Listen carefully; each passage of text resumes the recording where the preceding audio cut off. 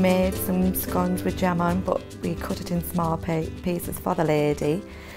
And my words were, is we'll have a nice cup of coffee to wash it down. As I walked into the room with the cup of coffee, I noticed Tracy had her fingers in her mouth, which sometimes she does when she's eating, but then I realised that she was choking. So once I laid Tracy on the floor in the in the position laid down, I found the centre of her chest and I just started doing the chest compressions. As this time I was talking to Tracy to try and pull round, please don't leave us, which it is upsetting and it was scary and I just don't know how I done it.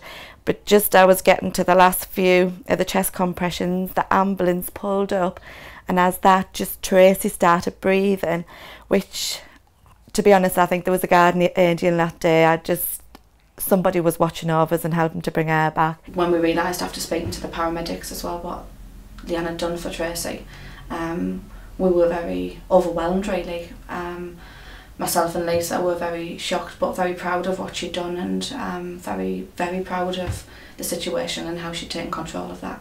And for me, courage is being able to stand up and do something that does put you out of your comfort zone, um, maybe pushes your instincts a little bit further than usual. And Leanne definitely done that on that day.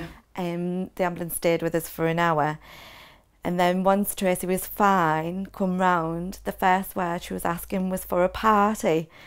And I was thinking to myself, party? You've just, the, the feeling we've just had, we can't believe one minute we thought we are going to lose you. When you go on these training courses, you think, oh, another training course, another boring day. You, you don't realise that you do these training courses that you'd ever use it one day. And now when I look back, obviously if I didn't do that training course, I wouldn't been able to do what I did that day with Tracy and save her life.